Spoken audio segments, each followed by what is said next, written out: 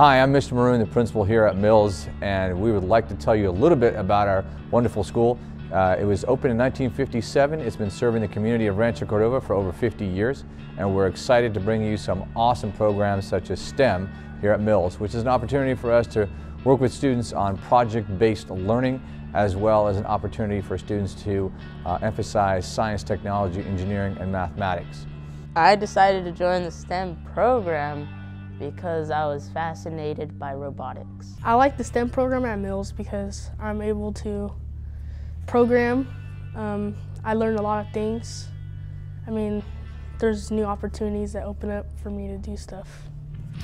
I joined the STEM Academy at Mills because it looked like a lot of fun because we because uh, they showed us how we could build things and and learn while we're building and that we could use it in real life later on.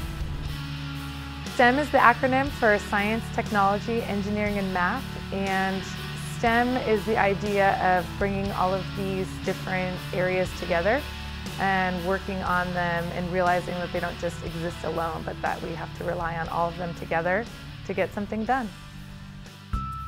I like teaching this class so much. I like it because uh, I feel that when my students are here, they're just really excited about the content that we're learning and they love getting a chance to work on a project. It's a really project-based class, so everything that we're learning um, has sort of like a real life component to it or, or relation to something um, that they could experience in their lives.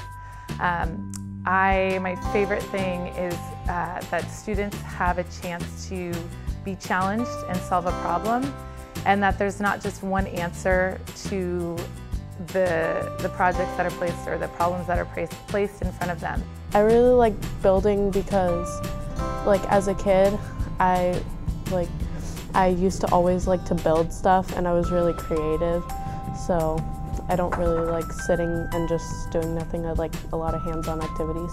There is so much like hands-on things that you can do and like you can be creative with whatever you want and you're not like even if you're supposed to do one thing you can expand it and make it like something of your own. Since there's so many things that you can do with engineering and technology like you can take that and it's like really put into good use for the future. I teach an all-year 8th grade um, automation and robotics in intro to computer science class. They basically problem solve and, and learn how to engineer the apps and how to troubleshoot and um, decompose uh, problems and, and a, a, wide variety of different skills with, with uh, programming Android applications.